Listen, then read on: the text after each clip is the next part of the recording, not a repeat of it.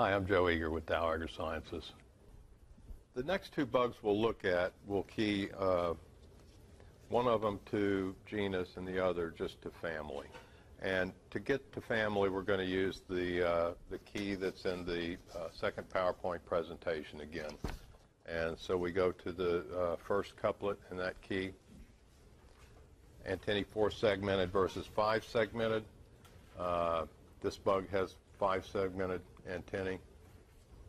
And so we go to uh, couplet number five. And by the way, this bug is uh, Eurygaster which uh, either had very few or no interceptions, uh, but is a, a, really severe pest of wheat and other grains in the Middle East and, and Southern Europe. And so, so it's fairly important bug. Uh, the next couplet, number five, Tarsi 2, are three segmented, and you can see here there are three segments to the Tarsi. So uh, Tarsi R3 segmented, and that takes us to couplet number eight. Okay, couplet number eight asks you whether the tibia are provided with large stout spines in addition to smaller setae, or if they're just provided with setae. Uh, these sometimes strong but lacking distinct spines except possibly at apex. And if you look at this bug, it's got kind of it's got kind of spines. These are really more like teeth or, or uh, denticles on the, the uh, tibia. They're not those elongate spines. And what we're really looking for is those elongate spines. These little teeth, or if there's just uh, uh, maybe you know some, some stronger setae, that's not what we're looking for. So even though these kind of look like little spines, they're, they're, they're very short and look, look more like teeth. And so this one does not, in fact, have uh, the setae, uh, uh, the, the spines. So we go to couplet number 10. Couplet number 10, scutellum enlarged, covering most of abdomen and forewings and reaching posterior margin of abdomen, trichobothria paired. This one does have an enlarged scutellum. It does reach posterior margin of the uh, abdomen, and we've looked at trichobothria before. If you look at this one, the trichobothria are, are paired on, on this bug. So what you have here is a Scutellerid. Now the family Scutelleridae uh, there aren't any recent keys to the genera of Scutellerids. The best is Schouteden's 1904 key, and it's, it's for global uh, genera of Scutelleridae. It's in French, but I've translated it, and uh, you have a handout. And with the supplemental materials is a copy of Schouteden's work along with the translations of the keys. Uh, and so we'll start with, uh, again, Schouteden, 1904. And uh, the first thing we'll look at is the key to tribes. At the time that Schouteden did his work, Scutellerids were considered a subfamily of Pentatomidae, and so what we now consider to be subfamilies uh, were considered tribes at that time, and actually there are several additional subfamilies now. But, but the keys still pretty much work to get you to genus. Uh, with, with the Scutellerids in, in, across the world. Okay, we're in Key to tribes of the, actually this says subfamily Scutellerinae. It's actually a key to, to subfamilies now. But the first couplet, median furrow of meso and metasternum, limited on each side by an elevated carina. and if you look at the underside of this bug, there is there is a, a, uh, a furrow or a sulcus uh, into which the, the rostrum fits here, but there really isn't any elevated carina on, on the sides, carina being a kind of a, a, a, a elevated line or, or structure. And, uh, and so that's not present here. The second part of this talks about the base of the pronotum forming a continuous curve with that of the scutellum. And really, they're looking, once you look at the lateral angle, and you can see it's a fairly, there's a, kind of a little bit of a constriction here, but it basically is a smooth curve. Uh, if, it, this was not the case, there would be a kind of an indentation here or, or a depression where the scutellum and the, and the pronotum meet. So it's a, a kind of a, an arch. and then there's a third part, but again, but this, this, there's no con, uh, con, uh, counterpart. Some of these keys sometimes have additional characters that help you identify the bug. In this case, um, you know, either one could have this, this arch. And so you have to be careful when you go through these, some of these older keys. Most keys nowadays, if they have one character here, they'll have it in the, in the, uh, in the other half of the couplet. This one doesn't. The main thing is, is just that median furrow, and it doesn't have the, the carina. So it's not an Elvisuraria. Uh, we go to number two. And I have an example.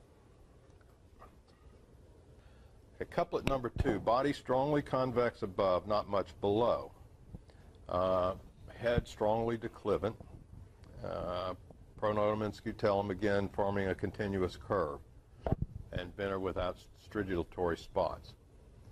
Uh, what he's talking about, if you look at this, this is much more convex above than it is below. Uh, there is a continuous curve again here with the uh, pronotum and scutellum. The head is strongly declivant. It's angled down. You can see instead of, you know, like most bugs, it'll be kind of oriented outward. This one is, is strongly downward curved. And the other thing he asks about are, are the are states venter without stridulatory spots. Uh, and this is the stridulatory spots he's talking about. These are found on the Pachycorini and a couple of other newer subfamilies. Uh, but when he says stridulatory spots on scutellerids, they're located right here on the uh, middle part of the, uh, the abdomen, and usually on uh, fifth, sixth, and possibly seventh segments. So let's look at our bug. Our bug clearly is not as convex above as what we saw previously, and in fact, it looks like it's more convex below than above. And, uh, and that's the, uh, the second part of this couplet. And so we have a, we don't have a sphaerocorini. so we come to couplet number three. Couplet number three, base of pronotum and that of scutellum, each forming a separate curve. Okay, and you see pretty much, that's pretty much what you see. Here's the scutellum, comes up, it curves down, and then the pronotum starts here and curves there. So you've got that kind of a dip in between the, the pronotum and the scutellum. And then the second part of this couplet, uh, posterior angles of pronotum located in front or outside of uh, the basal angles of the scutellum. And they're talking about these posterior angles over here, and they're really kind of in front of the base of the, of the, or the outs, outer angles of the scutellum. Uh, so they're, that's, that's what they're looking for with that second part of that couplet. Okay, we'll look at our bug again, and again, a smooth curve. It's not, uh, there's no, no dip here between the, the scutellum and the, and the pronotum. And if you look at the posterior angles of the pronotum, they're, they're right in here. And so they're well within the, uh, the outer angles of the scutellum. So that's the second part of that, uh, uh, that couplet. So it's, it's not a scutellerini, and we go to couplet no, uh, four. We looked at the stridulatory spots earlier on, uh, on a specimen of Pachycorini.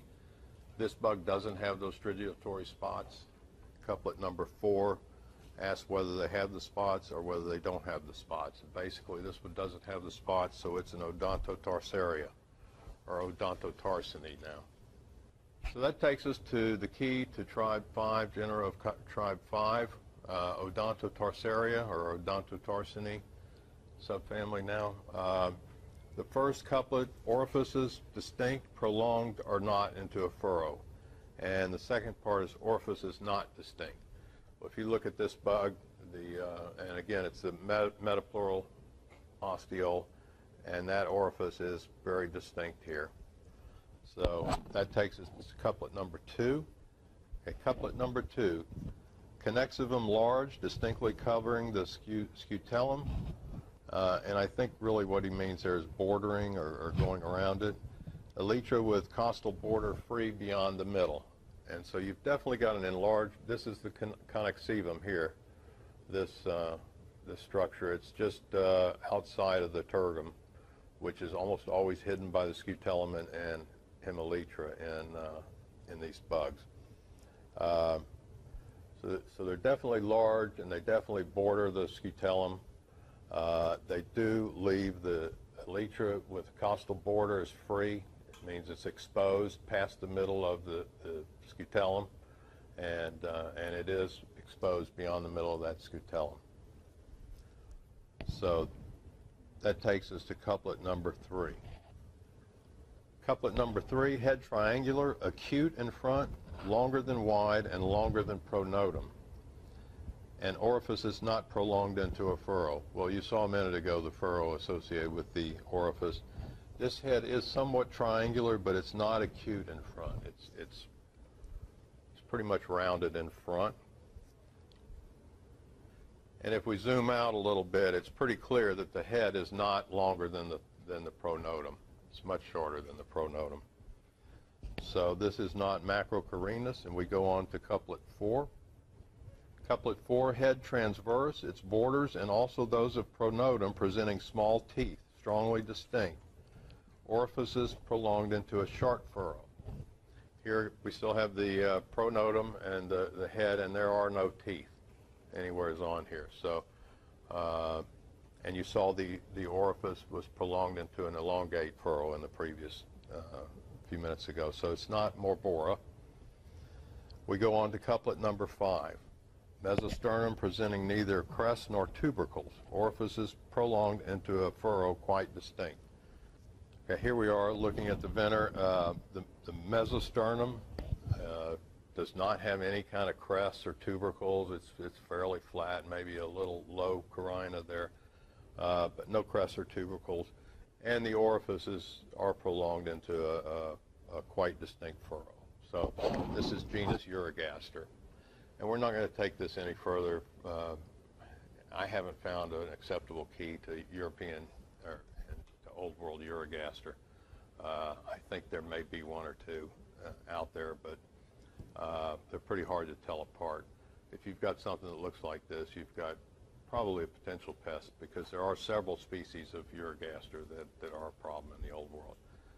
Interestingly, we also have a New World uh, four species in the New World of Eurygaster, and none of them are pests. They're not really a problem.